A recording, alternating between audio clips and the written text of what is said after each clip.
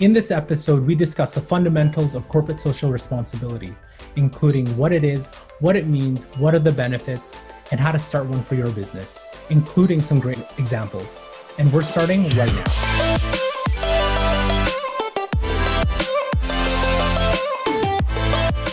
Hi, everyone. I'm Carl. Welcome to the Social Impact Show, where CSR professionals get the latest strategies and tactics to develop and grow their goodness and CSR programs. Make sure you're up to date with the latest CSR trends and strategies by hitting the subscription button below, hitting the little notification bell so you don't miss anything. So today I'm joined by in house goodness consulting expert Nicole McPhail, and the topic we're going to discuss is what is corporate social responsibility? So, Nicole, can you give me maybe a little bit of a history on what corporate social responsibility is and what it actually means? Hi, Carl. So nice to be here. Thank you for having me.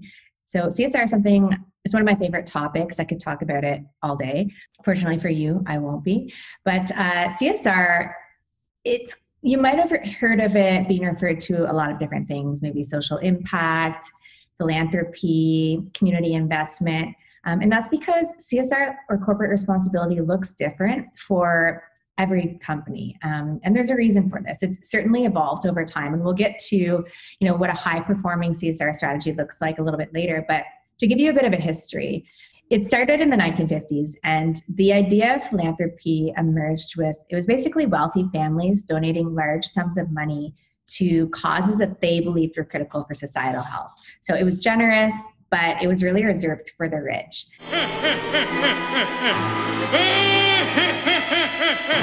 and then the idea extended to companies not long after. So businesses felt like they had an obligation to ensure that they weren't harming the communities that they served or operated in. And so it was more of a social license to operate than really anything else. And then there were brand benefits that were seen from that. So then comes the United Way model, which a lot of you may have heard of. Um, it introduced this fundraising approach where employees were brought into the fold, which it was really great to have these annual campaigns that brought in employees to give back. But the approach was a little bit top down. And so, from our perspective, it wasn't really as engaging, could arguably be disengaging, and has lagged since in terms of driving positive social outcomes and change in recent years.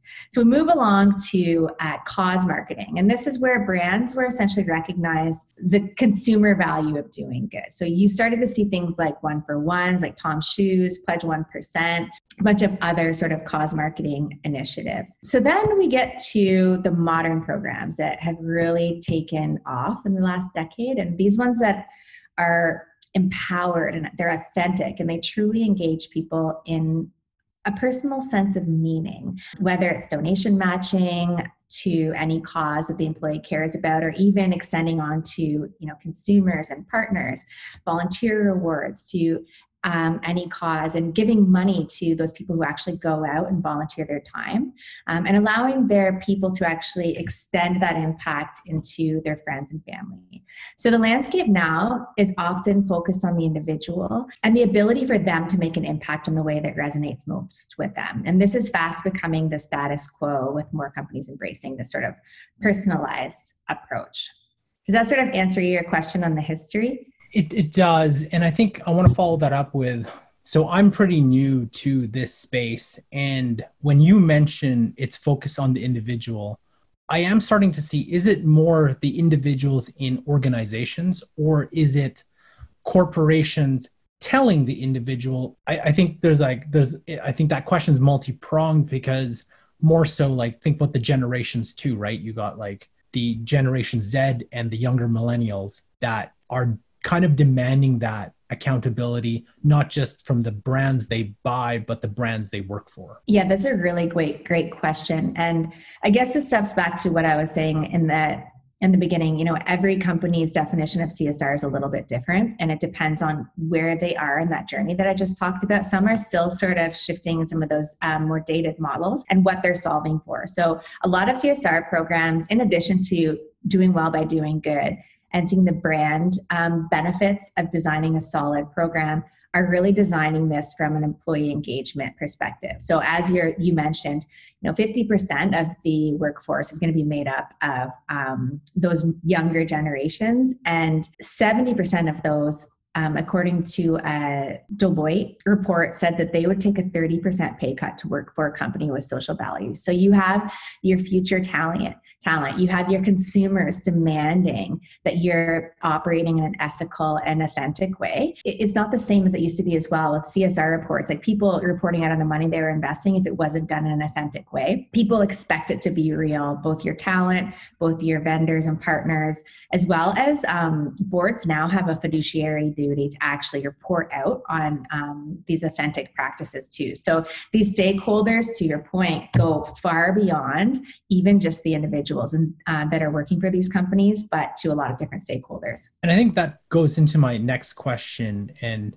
I know you kind of answered it where why is it important today? There's a there's a lot of whys behind this. Um, and part of it is just the world around us.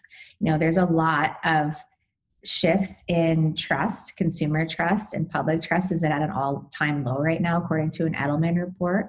And one of the actual trusted institutions where people see this group can actually drive change are businesses. So businesses have this expectation to respond to the mass movements like Black Lives Matter or um, huge environmental issues, like even the um, the, the fires are, are happening in California. So the need is really there. And then the expectations that go along with that. So the people expecting these companies to take a stand and drive forward this change um, and also engage them in that process. So that, alongside some of the other things I touched on around engaging and recruiting and attracting talent, would be some of the biggest drivers, I'd say, for why CSR is becoming increasingly important. So just following up the question on importance, mm-hmm. what are some of the benefits of corporate social responsibility, I guess, from both the individual level and the brand or company level? Yeah, and I think it could even extend beyond that. So, a really well designed strategy, there should be at least four stakeholders. So, you have the business where you can see benefits across the entire organization, everything from the people team for attracting and retaining talent.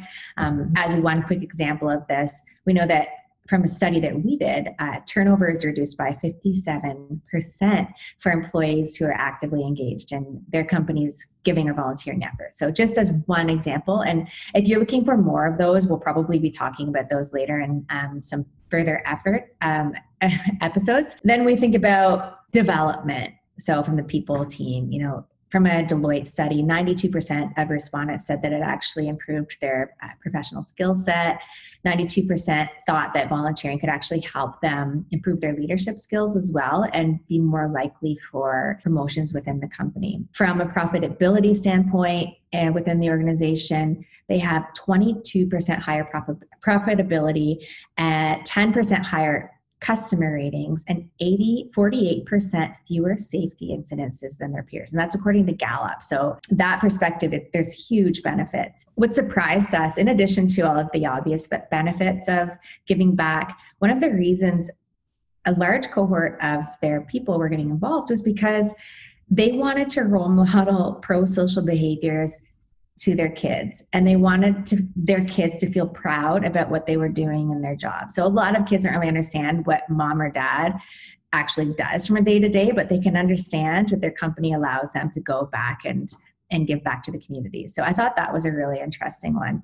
And then from uh, another stakeholder group, thinking about those not for profits that are getting these supports and the communities that they're affecting, as well as even additional stakeholders uh, like partners and consumers that can be positively impacted um, at scale. You know, when you think about all of the people around the world that are hardwired to do good, businesses arguably in my opinion have the largest potential influence to actually create change more than almost any other institution out there. So the benefits are huge and all encompassing if it's done right. And remember if you're getting value from this video make sure to hit the like button. And the question of the day i have for you is what does corporate social responsibility mean for you? And if you've implemented it in your business what were the impacts? Let us know in the comment section below. I know you talked about, you know, within the business, certain uh, departments like human resources, just starting to understand uh, this industry. Is it just human resources communications that owns the CS, the corporate social responsibility program? um, or is it like more of widespread? Yeah, so um, the the groups in which CSR report into is actually changing, and historically, I think they were just thrown into whatever business unit had the budget. And that's again another reason why some of these programs um, amongst different companies are so incredibly different because depending on what business unit they report into, the why behind these programs change. Uh, just because of the justification to have it in the first place. You can you see them sometimes in human resources, which I think is an excellent place, especially if you are solving for employee engagement and trying to scale some of these efforts through your people. But sometimes that's not where the budget come from, comes from. So if you are a brand new csr professional or you're trying to reimagine it within your organization i honestly think the best spot to be is a direct line to even your ceo or a, a really direct governing body. Sometimes it's a board of directors from a foundation you know every company is a little bit different. That allows you to have more influence um, over your programs to make decisions a little bit easier. You know if you have a bunch of layers or you're sitting in a business unit that doesn't necessarily make sense. So if you're sitting in say finance or legal you might not be able to solve for your employee programs the same way you would if you were reporting to the CEO or within human resources. So it's definitely something to keep in mind. Other groups that uh, are pretty common. You see public affairs, community affairs, uh, marketing or communications, sometimes finance and legal, because um, some companies had their programs in existence because of that license to operate and the requirement to actually give back a portion of their foundation money. Um, so it really differs depending on where you're at in your CSR journey. So I guess to follow that up, who decides the so you mentioned strategy so who decides that strategy in an organization when uh, a corporate social responsibility program is, is started? Is it top down, like is it the CEO or the executive team or the leadership team, or is it more like grassroots? I've seen both, um, and it's really great when it's a both and. But if, for instance, you're in a company where sometimes it's when a new CEO comes in or someone on the executive or C suite team says, Hey, I came from X company and we were doing all of these things. Why aren't we doing them here? So often we'll see that. Uh, and that's a really great spot to be because you already have that executive buy-in um, and a lot more a lot more ability to influence and design these programs ultimately though they don't have in most cases a csr expertise. So it's really up to you to create a coherent strategy or um, if you're a director or head of a foundation or um, anyone that's trying to take this charge to present to them and that's a whole different conversation of how you actually get that executive buy-in. But then sometimes like we talked about before you hear people people have these expectations of their employers. And so in a lot of cases it's coming from the bottom up. They're hearing it in employee surveys or just in focus groups and things like that. And so that sort of flurry of activity can drive the change. But typically from the top down is where you'll actually start to see these programs get into place because they aren't cheap and the company has to be willing and um, interested in investing in it and seeing the, the value in it. But if you are trying to design this the both and works in that if your executives are at least somewhat interested you can demonstrate the need from the business by actually talking to employees and get the, getting that feedback as a way to get that support and buy-in. So just to follow up from who decides the strategy maybe you can give me some examples of um, what a good CSR program looks like?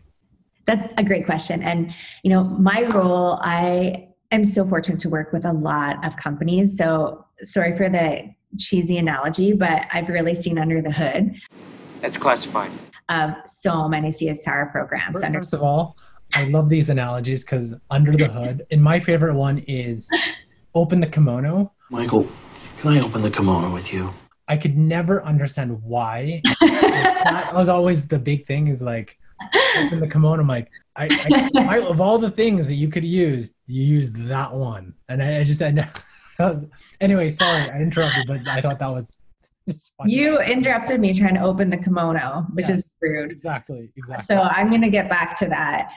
And so that's that's a question that I'm asked a lot, and fortunately, you know, I've I've really seen sort of what works and what doesn't work, and I think the components of a really good strategy are that one, it's it's authentic. Like it needs to come from the top, and there needs to be some authenticity around purpose and trying to do good. You can do well by doing good, but without that sort of top level buy in, the rest is harder to follow. Other components are you are considering all of your stakeholders and you really know what you're solving for. So some some companies have had CSR programs that just kind of flounder. You need to treat this like a a, a business priority. You need to have a lot of rigor around your strategy, your why. You need to be continually reinforcing this message within your organization so others see the value so they can get behind it. Because once you have those top level champions, you're going to be getting more budget, you're going to be getting more support and even more airtime and um, you know company wide events so those pieces are really important um, you really need to factor in all of your stakeholders, um, including your employees. So, if you have a CSR program that has an employee engagement aspect to it, and you're not asking your employees what they actually care about, it's it's a moot point. I don't even think you know how can you engage your employees if you don't know what engages them. So I always say think of it almost like the way that you design a product or a service. You need to do your research. You almost need to um, run focus groups to understand the difference between what someone says they care about versus what they actually care about. There's disconnects there. And as well, it needs to be um, designed for employees in the way that they have choice and you're incentivizing that choice. So um, they can give back to causes that are near and dear to them versus just company causes. You can have both. That's really important. And you need to really incentivize and show your support through things like matching gifts programs, volunteer awards, grants. There's a lot of ways that you can bring them into the fold that are really important. And then lastly, you need to be able to scale this. So, in addition to having a strategy, in addition to having that buy in and making sure that it's employee and um, stakeholder focused, you have to automate. You need to streamline that stuff. You need to have, and I know that I work for Benevity, but I was a client first when we brought in Benevity, so I feel credible to say this. You have to be able to scale it through technology um, and make it fun and, and gamified. I'd say those are some pretty important components. There's tons, but if I were to simplify. So those are good points. Uh, do you have anything else to add? Yeah. If you're a new CSR practitioner, uh, give yourself don't beat yourself up if it takes a little bit of time. Don't you know um, dust yourself off if the first person you talk to doesn't support this you can do it and you're going to be awesome.